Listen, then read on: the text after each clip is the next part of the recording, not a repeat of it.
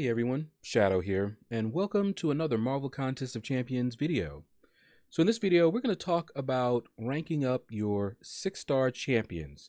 Shout out to Howl Beast, he gave me the idea for this video, uh, and I thought it was a very good idea. This is a question that people often ask me, should I rank up this champion or that champion as a 6-star to rank 2? So let's talk about that for a little bit. Uh, first of all, right now, I am more of a fan of ranking up your five stars. Okay, so that's where my bias is. I believe that six stars are the future, but we are not there yet. Now, there is a caveat.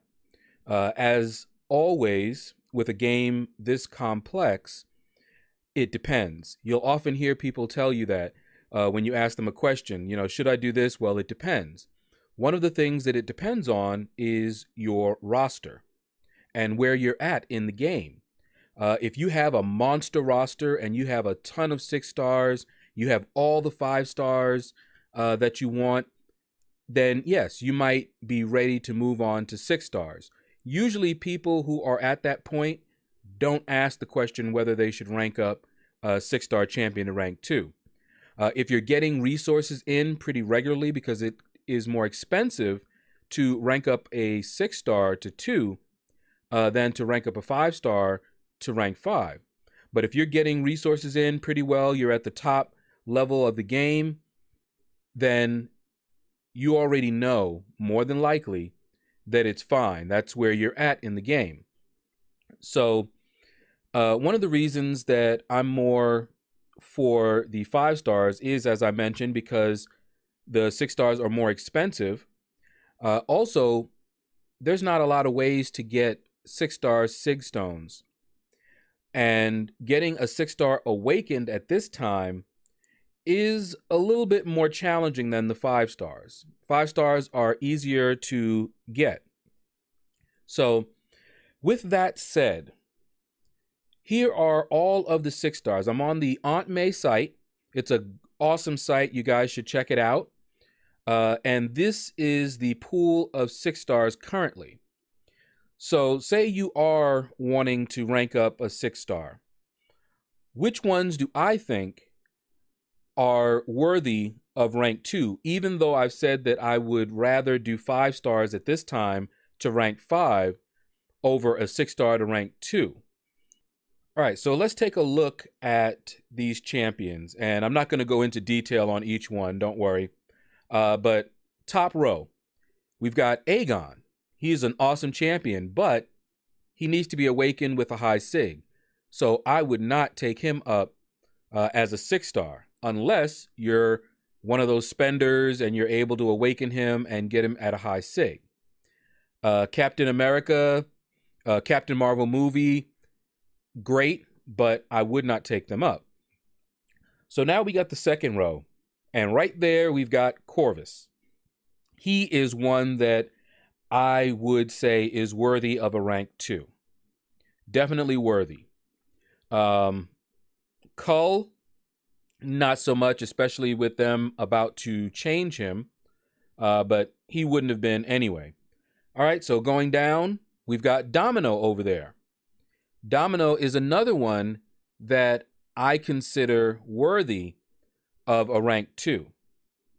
Uh, third row, we've got Ghost. Definitely, she is worthy of a rank two. Now, these champions, so far, I've mentioned Corvus, I've mentioned Domino, and I've mentioned Ghost. These are very versatile and they benefit from going to rank two greatly and like with the case of Ghost, very versatile. Even if you have five star versions of these champions, I would still consider them worthy of taking to rank two. All right. Uh, going down here, um, looking at the fourth row, don't really see anybody that I would consider taking to rank two personally. Uh, then we've got uh, the next row here. Uh, Namor is great, but needs to be awakened with a high sig. Omega Red, same thing. Very good. Uh, Red Hulk, nice. I would not take him to rank two, though. All right, next row, looking down, Sentinel. I love Sentinel, uh, but he needs to be awakened.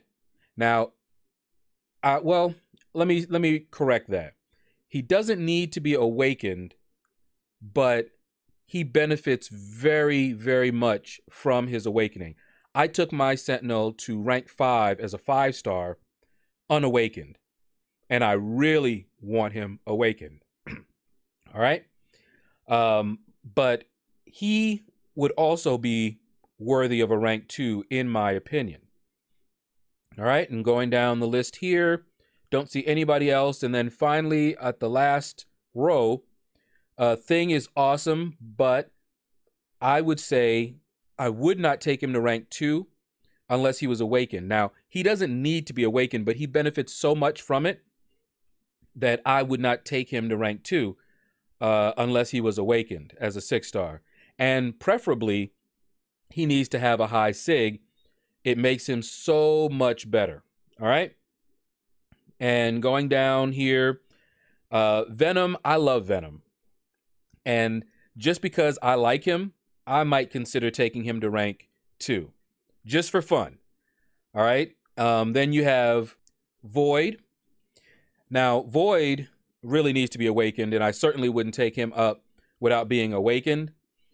And really, I doubt I would take him up as a six star, even if he were awakened. Uh, next, you've got Warlock. I like Warlock. I really do. But unless you have a need for him and he has great utility, uh, I would rather take a five star at this time up over taking Warlock to rank two. All right. So there you have it. Those are my thoughts on these champions as six stars, uh, which ones I think are worthy of a rank two. But I still don't believe in taking six stars to rank two at this time unless you are at that level in the game where your roster is just huge and you are at that point where you need to start investing in six stars. All right, so that's going to do it. Hopefully, this helps you guys out, uh, answers the questions that uh, I am asked about six stars, taking them up to rank two. Uh, my default answer is no. Rank up your five stars, build up a strong five star roster first. Uh, but with the caveat of those champions that I mentioned, um, especially Corvus, Ghost, and Domino, if you have those, I would consider taking those to rank two. All right, so that's going to do it. Hopefully, you found this educational. Click like, subscribe, leave a comment. Let me know what you thought about this video. And you all have a blessed day.